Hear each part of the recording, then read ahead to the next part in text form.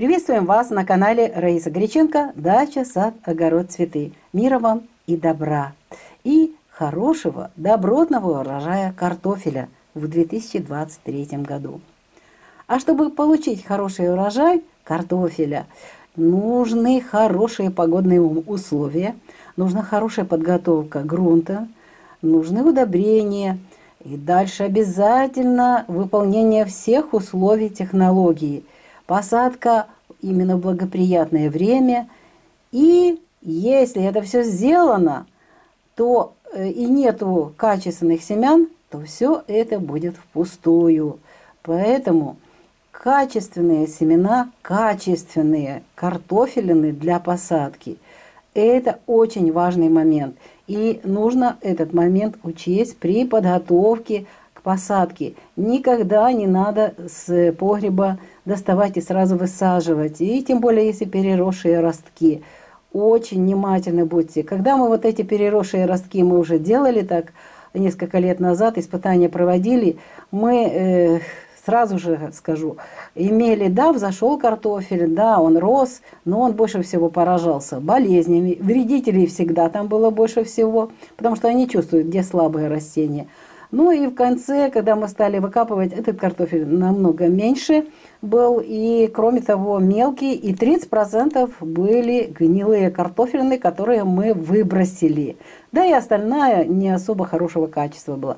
Поэтому вот этот картофель, который мы вытягиваем с погреба, э, не высаживаем. Это опасно для будущего урожая. В первую очередь урожай можно не получить. Тем более, если мы спешим и высаживаем быстренько, потому что вот все так делают, и получается в холодную почву высаживаем. Вот эти тоненькие росточки, они погибают. И остается там будут повторные какие-то еще росточки подниматься, глазки будут открываться. Но вот тот картофель, и урожай плохой, и будет болеть. И непонятно, что мы еще и получим в конечном итоге. Все зависит от погоды. Вот это первое замечание, которое мы хотим вам э, подсказать, и мы к этому пришли тоже благодаря опыту, мы используем озеленение, яровизацию – Яровизация картофеля очень важный момент, потому что именно яровизация дает возможность подготовить э, все картофельные к посадке.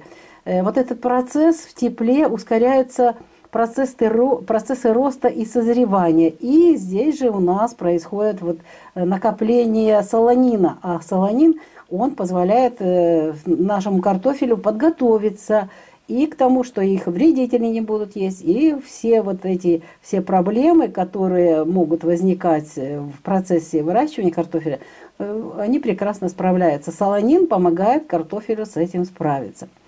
Ну и что мы делаем? Мы обязательно обламываем все ростки, потому что они, во-первых, мы видим, какие ростки у нас слабенькие, какие ростки э, могут быть, если просыпаются, они не длинненькие, вот тоненькие, это всегда говорит о том, что есть здесь проблема, или болезнь, или вирус. А с вирусами у нас в этом э, периоде сейчас, последние годы, очень активно. Везде, и многие пишут э, с разных стран, вирус просто это проблема номер один в том, чтобы получить хороший качественный семенной картофель. Его очень сложно получить. Через семена кто-то выращивает, целый там э, процесс должен быть.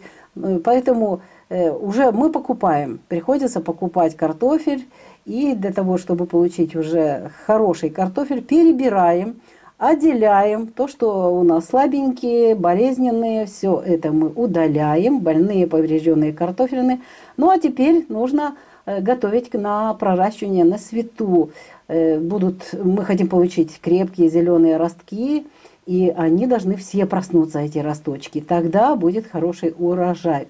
Для прогревания мы заносим в теплицу. И здесь где-то три недели, месяц у нас находится картофель.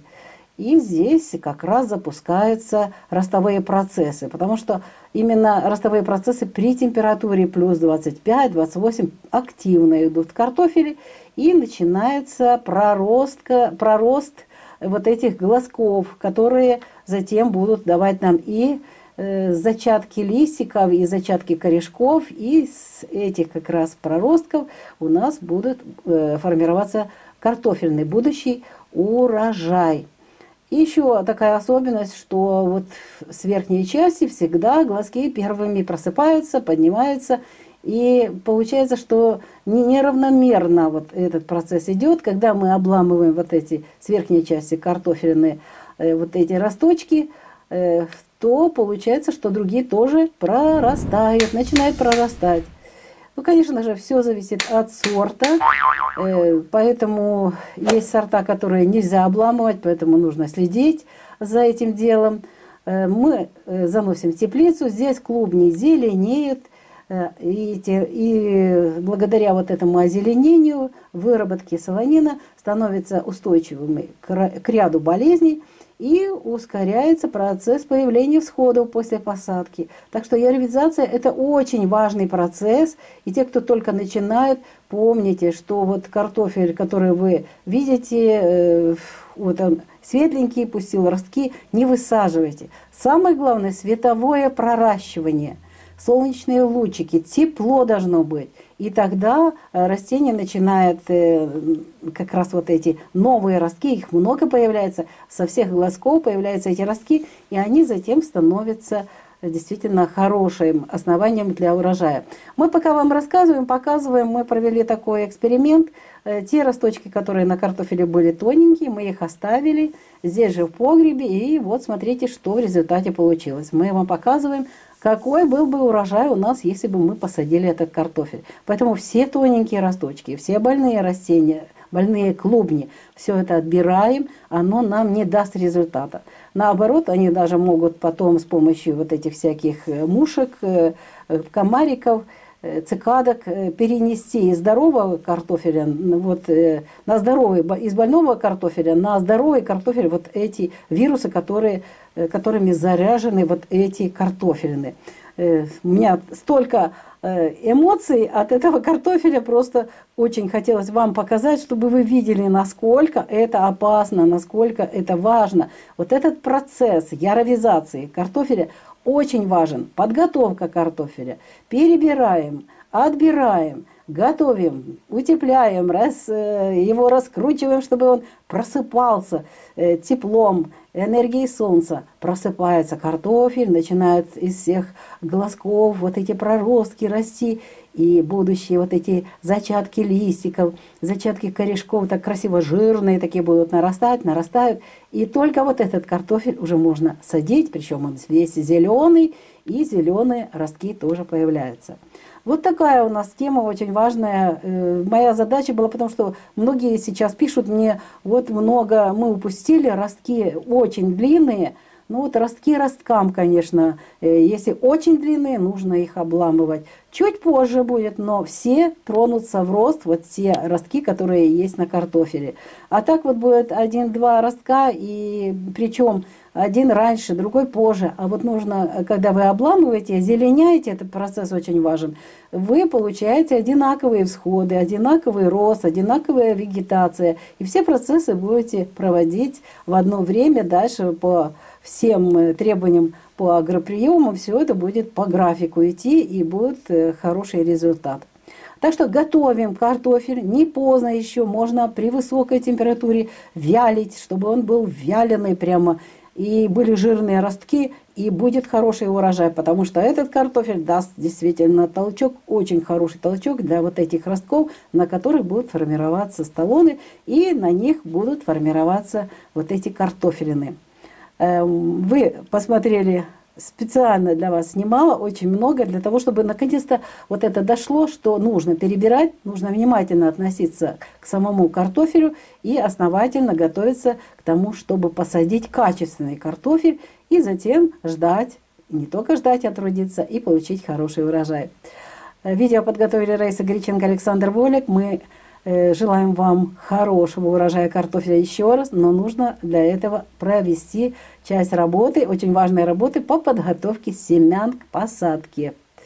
Всего доброго вам, до новых встреч на нашем канале. Вітаємо вас на каналі Раїса Горяченко Дача, сад, город, квіти. Миру вам та добра і гарного врожаю картоплі.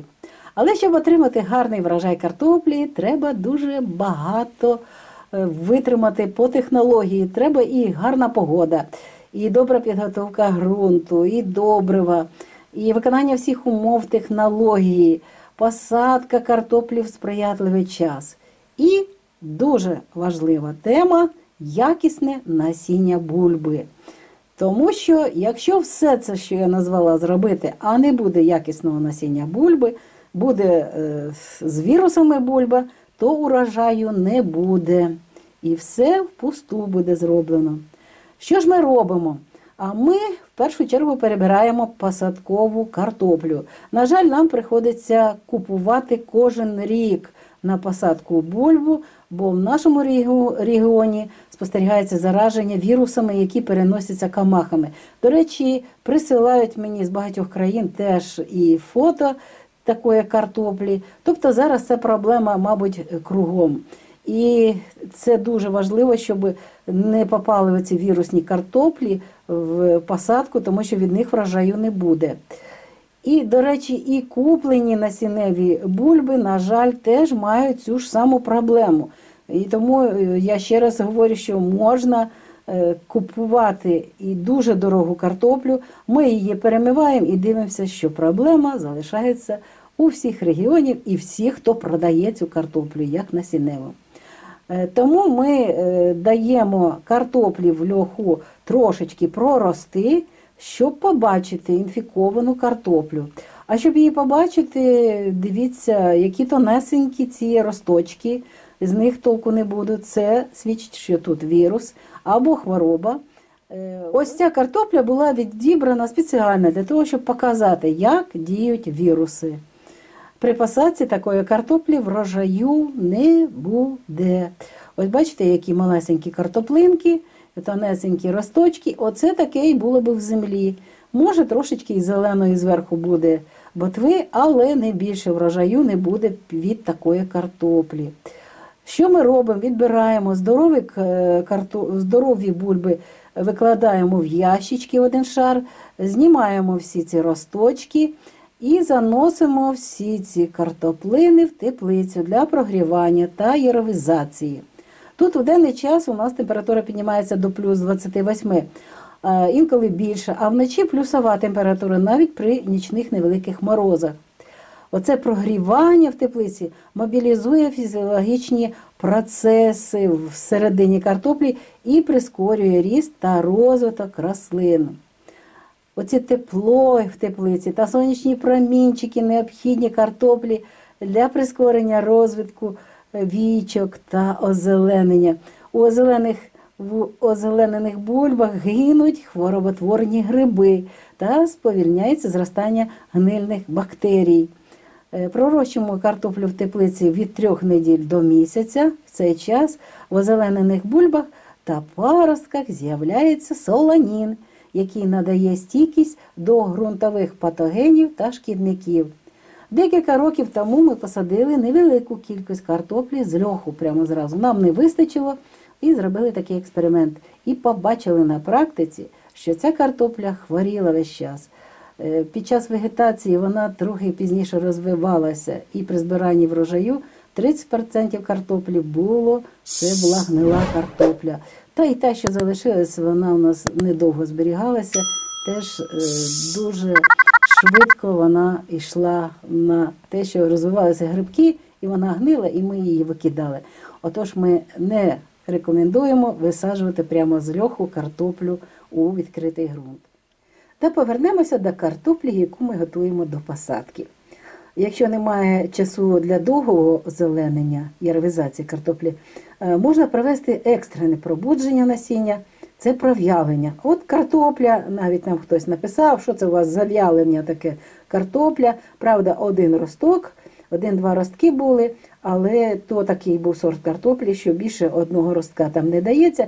Тому е, ми от таки використовували один росточок, а краще все-таки е, обламали цю картоплю, яка має гарний вигляд, здорова і на пров'ялення. Один тиждень в теплиці при температурі плюс 28-32 і картопля вже поморщиться. І це нормальний процес для картоплі, яку збираємося садити.